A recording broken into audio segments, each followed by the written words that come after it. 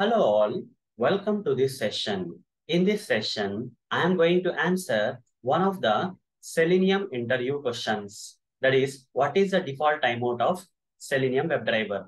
Let me answer. The default timeout of Selenium WebDriver is zero. Why? Because Selenium WebDriver by default won't wait for any web element to be displayed on the page. Okay, if a particular web element on the page is uh, displaying on the page with a delay, then Selenium WebDriver is not going to wait for that element by default because the default timeout of the Selenium WebDriver is zero. Let me practically demonstrate this for you.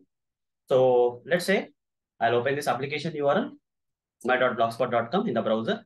And on this application page, there is a button. When you click on this button, these options, okay, this uh, Facebook, Flipkart, Gmail options are not coming immediately. Rather, they are getting displayed with a delay. Okay, after clicking drop down button, you see after some time only the flip Flipkart option is coming, let's say. So if I want the Selenium to click on the drop down button, it will click without any problem because drop down button is there. There without any delay, the drop down button is there on the page. So Selenium will be able to find the drop down button and will be able to click it.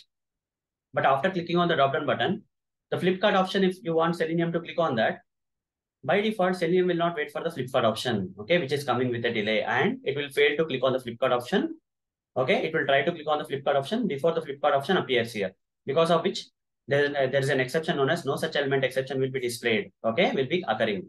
Let me practically show you. For that i'll open this eclipse ide where some sample selenium automation code is already written for opening the chrome browser for maximizing the browser window and for opening the application url in the browser.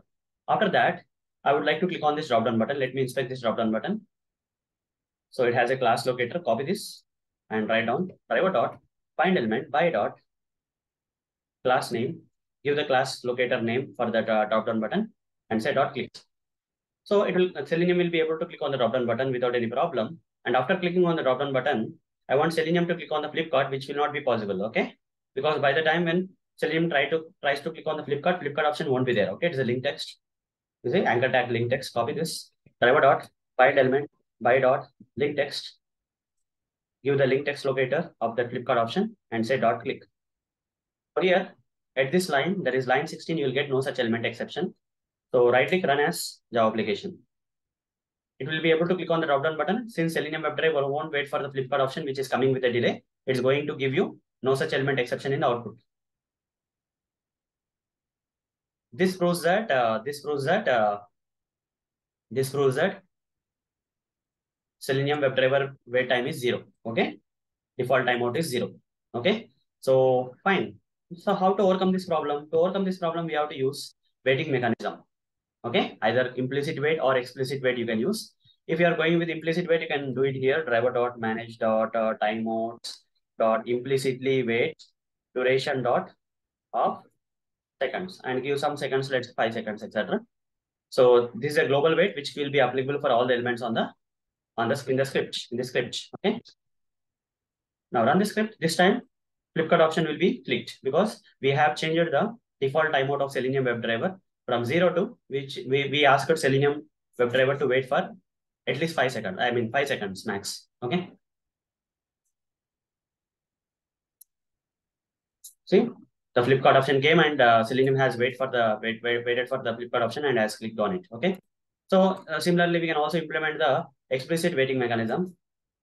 So here we can also implement the explicit waiting mechanism like a uh, web driver wait wait is equal to new web driver wait driver comma duration dot of seconds five seconds let's say. The semicolon import this web driver wait and we are explicitly waiting for this flipkart option with this uh, explicit waiting mechanism waited until expected conditions dot visibility of element located by visibility of element located. You can give this by dot uh, card here, okay? And put a semicolon here at the end. That's it, okay? We are explicitly waiting for the Flipkart option to be displayed on the page. Maximum timeout is five seconds, okay? So we are changing the default timeout to this kind of customized timeout for this only one element that is Flipkart option, okay? This time Selenium WebDriver will wait for the Flipkart option because of explicit waiting mechanism and we'll be able to click on the Flipkart option.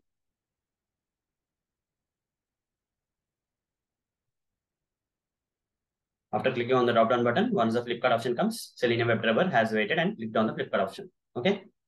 So hope guys, uh, you understood uh, what is the default timeout of Selenium WebDriver. It is zero. Okay. To, to change that, we have to uh, use either implicit wait or explicit wait mechanism. Okay. In Selenium. So that's all for this session. Thank you. Bye-bye.